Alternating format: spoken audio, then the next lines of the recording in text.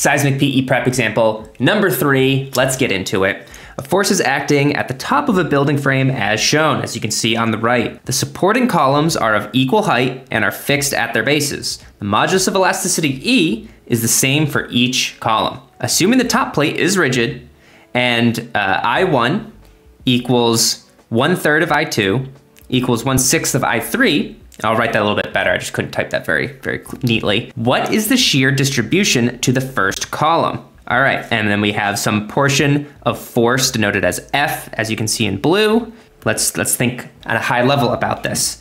Like the problem says here, something very, very important is that uh, assume the top plate is rigid, which means that we can or need to analyze this big honking thing that I'm highlighting in red here as a rigid diaphragm. And we all know that rigid diaphragms distribute uh, story force or story shear to our vertical lateral elements depending on the stiffness or the relative stiffness of each one of those vertical lateral elements. The vertical lateral elements, if I keep saying that, you're gonna kill me. For today's example are our three columns, column one, column two, and column three. So this is a kind of like a maybe an inverted pendulum type uh, system that we have going on here. We know we have fixity at the base, and since we have uh, a rigid diaphragm at the top, we are also gonna assume that we are fixed at the top of our supports as well. So we have a fixed fixed column condition. If you've seen uh, a couple of my other videos, we go through a bunch of different systems and the stiffness equations associated with those systems. It's a really great one, actually. It helped me tremendously in my SE studies. So check those out. I'll, uh, I'll link them above here. But we know that uh, for a fixed fixed column condition, the stiffness of that system is found using the following equation. Uh, e being your modulus of elasticity, that's how how well a material can stretch. That comes down to material properties, um, mechanics of materials when you're in school.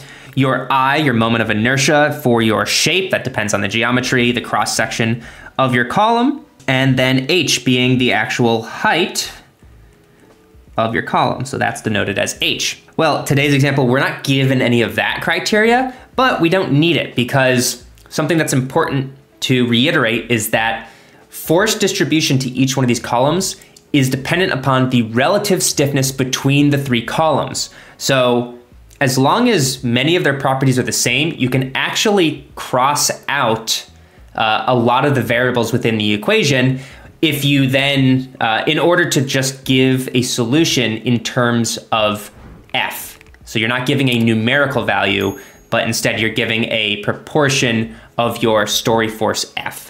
Well, why can, or how can we do that? Well, if we take this, we know that uh, E is the same for all. I'm just gonna do a check mark. H, all three columns are the same height, so that's a constant as well. And then I is our changing variable in our equation. And then 12 is just a numerical value, which is constant as well. I'm just gonna do 12, question mark, or question mark, check mark. So what you can do is you can actually pull out 12e over h cubed from your equation. And now, because that's all just constant, it's the same for all three of the columns. So you can just toss it, get rid of it. And we can simplify it to simply say the stiffness of each column, x, is just equal to the difference of i's between the columns and we'll say ix. And we've been given the information on all of the i's uh, related to one another, which is an important thing, of the three columns. So that's great. I think something else that's important that I left out is the following figure that captures this whole equation here, and that looks like this. I always find, and as I'll mention again in my in one of my earlier videos when I was studying for the SE, making these figures next to the appropriate stiffness and uh, deflection equations really helped me solidify my understanding of this concept.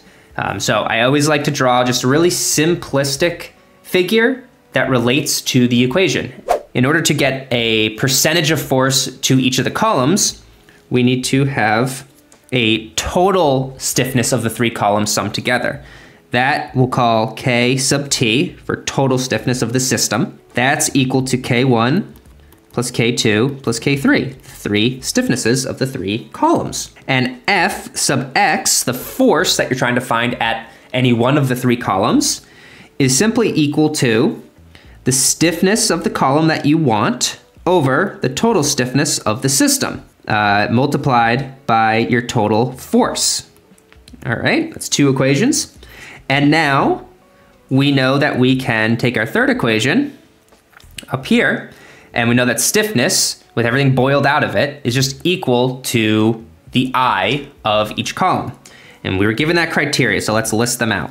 K1 is just equal, we'll call it 1, just unitless 1. K1 is equal to K2 over 3. Another way to write that is just that K2 is equal to 3 K1, so it's three times as stiff as column 1. And then we are given a third bit of information. K1 is also equal to K3 over 6.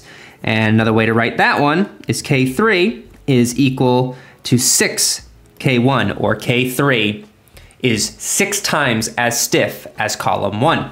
We can simply plug everything in and say KT is equal to K1, which is 1, plus K2, which is 3 times uh, the stiffness of K1. So that's 3 times 1 equal to 3, plus K3, which is 6 times the stiffness of 1, which is 1 times 6. And that all dumps out a total system stiffness of 10. Again, unitless. We stripped out a lot of these variables, so the units all disappear. It's just relative stiffness.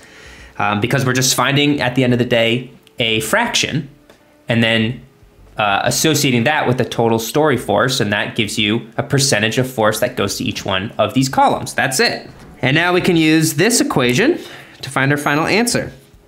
F1 is equal to uh, kx in question, so k1, which is just 1, over k total, which is 10, times a story force, F, which gets us F over 10, as our final answer. So one tenth of the story force is going to be distributed to column one um, to take that story demand down to the base through that column. I'm gonna say today that means our answer is A. And if you're flying through this and you're in the exam or you come back and you have some time to kind of solidify this for yourself, think about it at a high level. Um, the stiffer an object is or a of you know a system is, the more load will be sucked to that system. So when you have something that's really really stiff, most of the load should be going to that. Not should be, will be going to that. It's just how how the the rules of engineering work. And if you vice versa, if you have a very very uh, non-stiff system, like a wobbly, really thin column, call it a piece of spaghetti, no load is going to go to that because it has no relative stiffness compared to the system. So as you come to realize that your column one is you know, three times less stiff than column two and six times less stiff than column three, you are going to realize, hey, not a lot of load is ultimately going to go to that column. So the fraction is going to be fairly small. So from these answers, I might say, well, f over three, that's in that's a pretty big amount that would go to that column. That can't be true. Uh, two thirds is also, you know, that's the biggest amount of load going to the column. It can't be that one. And then you're left with, you know, two possible solutions left that make sense just without even running any calculations. So something to think about there high level. But hey, that'll do it for today. Like, subscribe, do everything to push this content to other engineers going through the process of studying for whatever exam they may be studying for. And uh, until next time, this is Rich with Team Kestävä. Peace.